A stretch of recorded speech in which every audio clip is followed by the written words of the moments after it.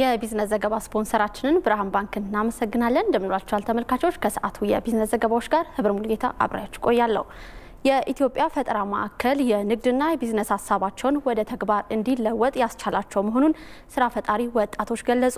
ከዚህ ቀደም ያጋጥማቸው የነበረውን የቦታና የካፒታል እጥረት ማዕከሉ እንዳስቀረላቸው ወጣቶቹ ገልጸዋል። ሂሩት አልታሰብ ተጨማሪ አላት። በኢትዮጵያ በርካታ ወጣቶች የቢዝነስ ሀሳባቸውን ወደ ተግባር ለመለወጥ ያላስቻላቸው መልከ ብዙ ተግዳሮቶች አሉ።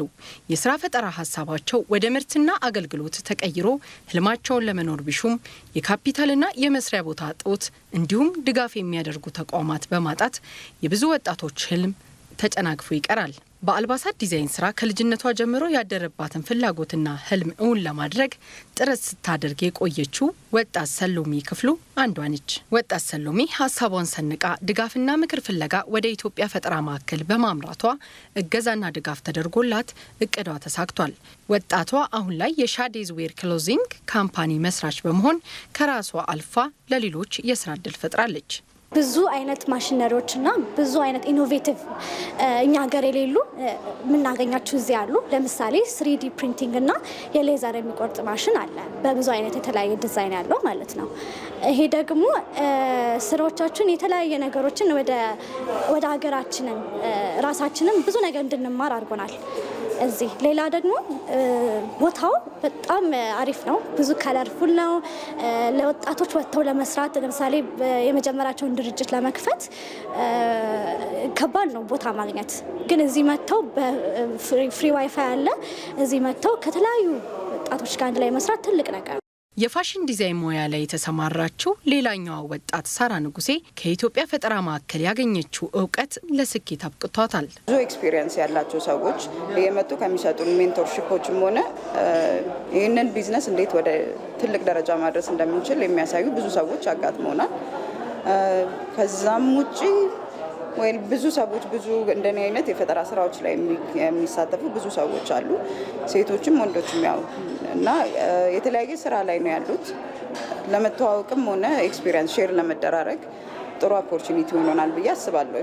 የኢትዮጵያ ፈጠራ ማዕከል ዲዛይነሮችን፣ ጥቃቅንና አነስተኛ አምራቾችን፣ ስራ ፈጣሪዎችን በማብቃት ተወዳዳሪ ምርቶችን እንዲያቀርቡ የሚያስችል ተቋም ነው። ማዕከሉ በተለይም ለወጣቶች በገበያ ጥናት ክህሎት፣ የንግድና ዲዛይን ስራ ስልጠና እንዲሁም የማማከር አገልግሎት ይሰጣል። የማዕከሉ ስራ አስኪያጅ አቶ ተመስገን ፍስሐ በማዕከሉ አሁን ላይ 173 የአምራች ኩባንያ አባላት አገልግሎቱን እያገኙ መሆኑን ጠቅሰዋል። የምንሰጣቸው አገልግሎት የ coworking ወይም የጋራ መስሪያ የቢሮ አገልግሎት ቦታ ነው። ስለዚህ ይህ የቢሮ ቦታ ድምፃቸውን ቀስ አድርገው እየተጠቀሙ የተለያዩ ስራዎቻችን ዲዛይኖቻቸውንም ማንበብ ከፈለጉ መስራትም ከፈለጉ የተለያዩ ነገሮችን ይሰራሉ። የኢትዮጵያ ኢንተርፕራይዝ ልማት ዋና ዳይሬክተር አቶ ብሩክ ወልዴ በበኩላቸው ማዕከሉ በዓለም ገበያ ተወዳዳሪ ሆኖ ለመዝለቅ በየጊዜው አዳዲስ የፈጠራ ስራዎች እየተከናወኑ መሆኑን ጠቅሰው በክልሎችም ተደራሽነቱን የማስፋት እድል ቢፈጠር የተሻለ እንደሚሆን ጠቁመዋል። በ digital world ላይ ያለው marketing በአዳዲስ ምርቶች ነው የምትወዳደረው እና በየቀኑ እዚህ የሚፈጠረው አዳዲስ ምርቶች ወይም አዳዲስ ምርቶች develop የሚደረግበት idea ዎች የእኛን ኢንተርፕራይዞች ተወዳዳሪ እያደረጉ ነው ያሉትና በዚህ እኛም በጣም ደስተኛ ነን። የኢትዮጵያ ፈጠራ ማዕከል የውጭ ምንዛሬን በማስቀረት እንዲሁም በዘርፉ ለበርካታ ዜጎች የስራ እድልን በመፍጠር ኢኮኖሚያዊ ጠቀሜታ እንደሚኖረው ተገልጿል። ዘገባው የኢትዮጵያ ዜና አገልግሎት ነው። እየተባባሰ የመጣውን ህገ ወጥነትና የኑሮ ውድነት ለመከላከል የሚያስችሉ ስራዎች ላይ ትኩረት አድርጎ እየሰራ መሆኑን የምዕራብ ጎጃም ዞን ንግድና ገበያ ልማት መምሪያ ገለጸ። መምሪያው በህገ ወጥ ንግድና ኮንትሮባንድ፣ ታክስ ስወራ፣ በኑሮ ውድነት ጉዳዮች ላይ ከዞንና ወረዳ የኮንትሮባንድ መከላከል ግብረ ኃይል አባላት ጋር በፍኖተ ሰላም ከተማ ውይይት አድርጓል። የምዕራብ ጎጃም ዞን ንግድና ገበያ ልማት መምሪያ አቶ አሰፋ ጥላሁን እንደገለጹት የህገ ወጥ ደላሎች መበራከትና የተራዘመ የገበያ ሰንሰለት መደበኛ የንግድ ስርዓቱን በማዛባት ሰው ሰራሽ የዋጋ ንረትና የኑሮ ውድነት በመፍጠር የህብረተሰቡን ህይወት እያናጋ መሆኑን ገልጸዋል። በዞኑ ናፍጣና ሌሎች መሰረታዊ ምርቶችን አከማችተው በተገኙ 2812 ህገ ወጦች ላይ እርምጃ ተወስዷል ብለዋል። እገዳ እንዲጣልባቸው የተደረጉ ክስ የተመሰረተባቸው ስምንት ድርጅቶች አሉ። ምንድን ነው መነሻ ምክንያታቸው እነዚህ ብለን ካልን ደግሞ አብዛኞቹ የንግድ ፍቃድ የሌላቸው ህገወጥ በሆነ መንገድ የሚንቀሳቀሱ የሚሰሩ ሆነው አግኝተናቸዋል። የዋጋ ዝርዝር ማይለጥፉ፣ ደረሰኝ ማይሰጡ፣ አድራሻ ለማክበር በአንድ አካባቢ የንግድ ፍቃድ የወሰደ ነጋዴ ሌላ አካባቢ ካላድራሻው ሂዶ መነገድና ማከፋፈል አግኝተናል። እነሱንም በተመሳሳይ ከንግድ ስራ ፍቃድ ውጭ መነገድ ያወጡበትን የንግድ ፍቃድ በመተው በሌላ ያን መሰረት አድርገው ሌላ የንግድ እንቅስቃሴ ሲያደርጉ ያገኘናቸው ሰዎች አሉ፣ ነጋዴዎች አሉ። ስለዚህ አሁን የመጣውም የህገወጥ ማለት የዋጋ ንረት ከዚህ ጋር የተያያዘ መሆኑን አይተናል። ያ ደግሞ ደላሎች ከአስመጪዎች ጋር ከላኪዎች ጋር ያላቸው ሊንኬጅ ከፍተኛ መሆኑን ያየ ነው። የምዕራብ ጎጃም ዞን ምክትል አስተዳዳሪ አቶ ጥላሁን አለምነህ እንደገለጹት አስተዳደሩ የሸማቾችን ህብረት ስራ ማህበራትን እየገጠማቸው ያለ የፋይናንስ ችግር በመፍታት ትኩረት እንደሚሰራ ነው ብለዋል። የፋይናንስ አቅርቦት ችግር፣ የብድር ችግር እንዲህ እንዲህ ያጋጥማቸዋል።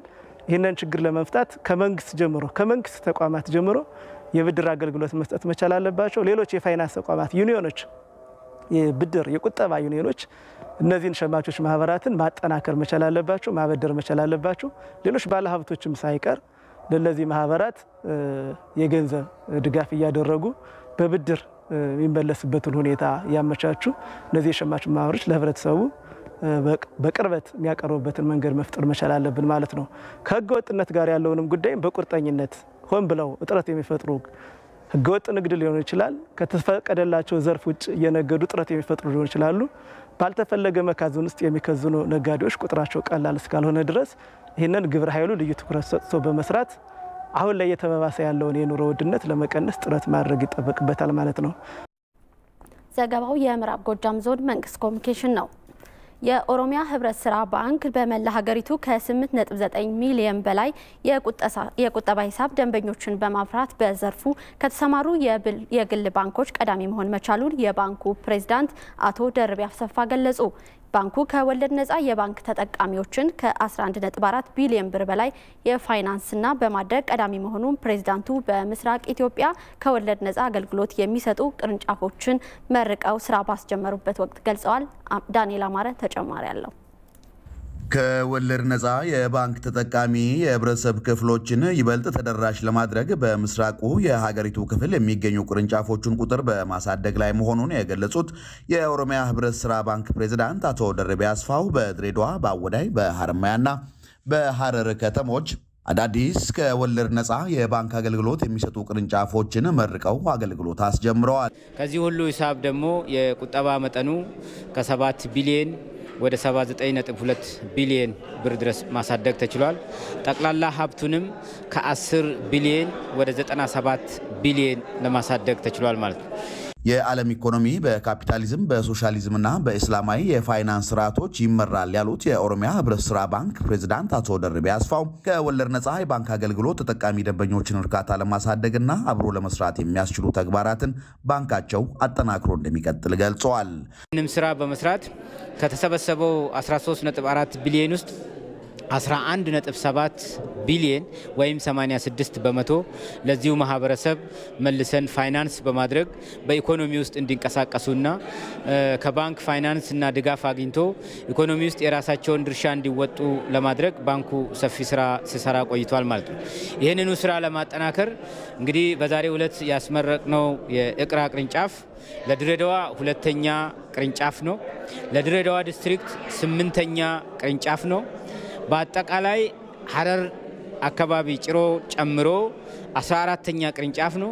በባንክ ደረጃ ደግሞ 35ኛ ቅርንጫፍ ሆኖ የተመረቀና ይኸው ስራ የጀመረ ቅርንጫፍ ነው ማለት ነው። የኦሮሚያ ህብረት ስራ ባንክ ከወለድ ነፃ የባንክ አገልግሎት የሚሰጡ ቅርንጫፎቹን በየከተሞቹ ለአገልግሎት ክፍት ከማድረጉም በላይ ከደንበኞች ጋር ሰፊ ውይይቶችን አካሂዷል። በመድረኮቹም የድሬዳዋ የምስራቅ ሐረርጌና የሐረሪ ክልል የእስልምና ጉዳይ ምክር ቤት ኃላፊዎች፣ የተለያዩ ሃይማኖት አባቶች፣ አባገዳዎችና የሀገር ሽማግሌዎችን ጨምሮ የባንኩ ደንበኞች ታድመዋል። ለኢቲቪ ዜና ለተጠናቀረው ሪፖርት ዳንኤል አማረ ከድሬዳዋ። ተመልካቾቻችን ለሰዓቱ ያዝናቸው የቢዝነስ ዘገባዎችን ይመስላሉ። መልካም